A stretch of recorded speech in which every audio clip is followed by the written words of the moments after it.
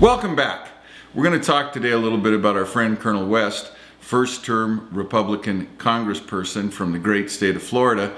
And uh, Colonel West has been attacked by one of the left wing uh, attack dogs.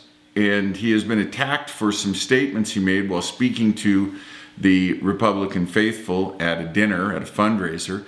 And I want to make a clear distinction between what Colonel West said and what people like Bob Beckel claimed that he said.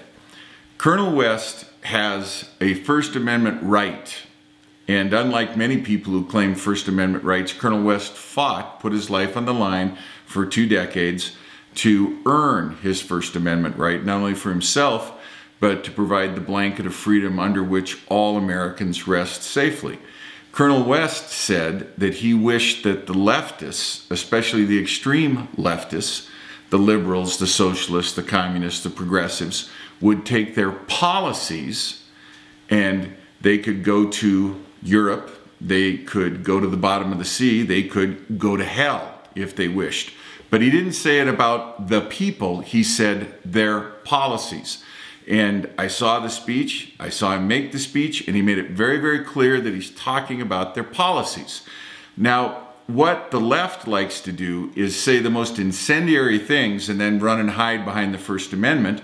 And when anyone else says anything that they don't like, they immediately attack them as saying, oh, that's provocative, oh, that's going to cause violence, oh, that's, that's the kind of language that causes the Tucson incident to occur. Now, of course, the reason that Mr. Loughner murdered people in Tucson, Arizona is because Mr. Loughner is nuts. It has nothing to do with politics, left, right, center, up, down, back.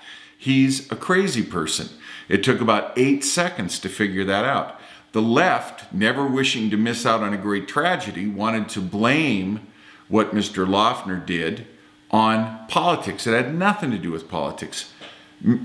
Congressman West having fought against oppressive regimes in Iraq and Afghanistan, understands the evil of oppression. He understands exactly how evil collectivist, socialist, fascist, communist governments are and how they gain their power at the direct expense of individual freedom. Having seen it firsthand and having fought to overthrow it, he wishes to send a very clear message to the socialists who in the United States won't admit that they're communists and socialists. They instead claim to be progressives. And of course, the inherent question there is progressing toward what? Progressing toward less individual freedom and more governmental control is always the answer. Colonel West articulated exactly what people like I feel every day. I wish the leftists, the progressives, the communists, the fascists, the socialists in the United States would take their policies, go to Europe, go to the bottom of the sea, go to hell. Those policies fail. And not only do they fail everywhere they're tried, they harm people horribly. And if you have any doubt about that, read all of the dissidents who have, who have written, you know, just crushingly depressing accounts of what it was like to live in the former Soviet Union. Read the dissidents who escaped Cuba and what they had to say about life in Cuba when they escaped. Uh, a couple of days ago, I saw this young movie star. I can't remember her name.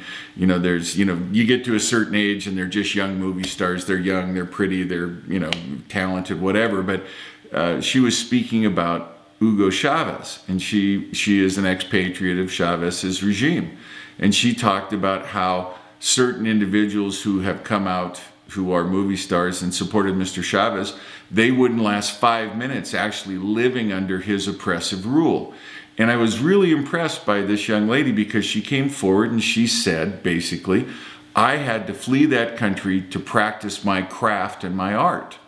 Well, Colonel West is telling you having gone to those foreign rat holes and being charged with taking his men and leading them on missions to kill the dictators, to kill the fascists, to kill the communists, to kill the socialists, to kill the collectivists. He's telling you that policy doesn't work. And going down that road is a mistake. And the people who wish to impose constantly increasing amounts of governmental power at the direct expense of individual freedom, they're not just wrong, they're not just misguided, they are evil. And it is critically important to understand when you face evil, you should tell evil. Policies that are evil should be told to go to hell.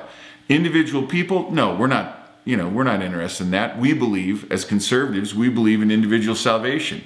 We believe in individual ret individual retribution and individual salvation. We believe the individual is fully capable of overcoming anything that's put in front of them if they're allowed to function in a system that prizes freedom above all else. Our system, thank God for this, our system prizes freedom above all else. And how do we know that? Because when we read the Declaration of Independence, what does it say?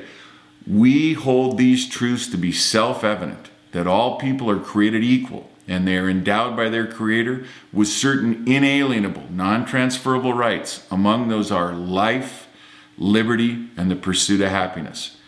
God bless Colonel West, member of the House of Representatives. Get out your checkbooks, send cash to him, help him out, help him defend himself against the slander of people like Bob Beckel.